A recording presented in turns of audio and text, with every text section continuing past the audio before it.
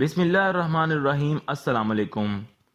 دوستو، آج کا ہمارا تاریخی سفر سلجوکی سلطنت کے ایک اہم اور انتہائی قابل وزیر کے حالات زندگی اور ان کی سلجوکی سلطنت کو منگولوں سے بچانے کے لیے کی گئی کوششوں کے بارے میں ہے۔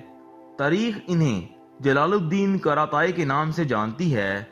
اس سے پہلے آپ سے درخواست ہے کہ تاریخی اور معلوماتی ویڈیوز کے لیے ہمارا چینل ضرور سبسکرائب کریں۔ ان کی تاریخ پیدائش اور جگہ نامعلوم ہے۔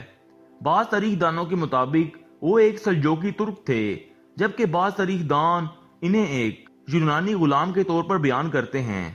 بہرحال دوستو، امیر جلال الدین کراتائے کا شمار سلطنت سلجوک کے چند انتہائی قابل اعتماد عمرائے سلطنت میں ہوتا ہے۔ تاریخ بتاتی ہے کہ انہوں نے چالیس برس تک سلجوکی سلطنت کے مختلف اداروں میں اپنی خدمات سر انجام دی۔ سلطان علاؤ الدین کیکاباد کے دور حکومت میں سلطنت کے امور کی نگرانی کے لیے جلال الدین کراتائے کی تقرری شاہی محل میں کر دی گئی، جہاں وہ ستارہ برس تک سلطان کیکاباد کے اہم وزیر کی حیثیت سے خدمات سر انجام دیتے رہے۔ کہا جاتا ہے کہ بارہ سو سینتیس عیسوی میں سلطان کیکاباد کی وفات کے بعد سلطان غیاس الدین کے دور حکومت میں امیر سعد الدین کوپک اور ایک مذہبی رہنما بابا اسحاق کی بغاوت کے نتیجے میں ملک خانہ جنگی کے دہانے پر پہنچ گیا تھا۔ لیکن جلال الدین کراتائے کی بر وقت مداخلت نے اس بغاوت کو نہ صرف ختم کیا، بلکہ سلجوکی سلطنت کو اس سے کام بھی فراہم کیا۔ لیکن اس کے بعد ایک اور بڑا خطرہ منگولوں کی صورت میں سلجوکی سلطنت کی طرف بڑھ رہا تھا۔ سلجوکی سلطنت اپنے عروج کو پہنچ کر زوال کی طرف گامزن تھی۔ بارہ سو ترتالیس عیسوی میں کوزاک کی لڑائی میں منگولوں سے شکست کھانے کے بعد سلطان غیاس الدین انتاکیہ بھاگ گئے، جس کے بعد سلطنت کی ذمہ داری امیر کاراتائے پر آن پڑی۔ انہوں نے کمال حکمت عملی سے منگولوں کو مذاکرات کے ذریعے سلجوکیوں کے دارالحکومت کنیا پر قبضہ کرنے سے بچائے رکھا اور اس طرح مغربی اناتولیا میں موجود کائی قبیلے کے سردار ارتغل غازی کو اپنے قدم جمانے میں مدد ملی۔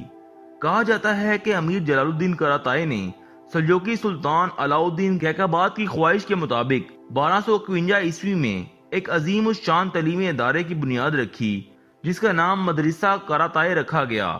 امیر جلال الدین کا قائم کردہ مدرسہ کراتائے تقریباً چھ صدیوں تک اپنی تمام تر تعلیمی اور حربی سرگرمیوں کے ساتھ جاری رہا۔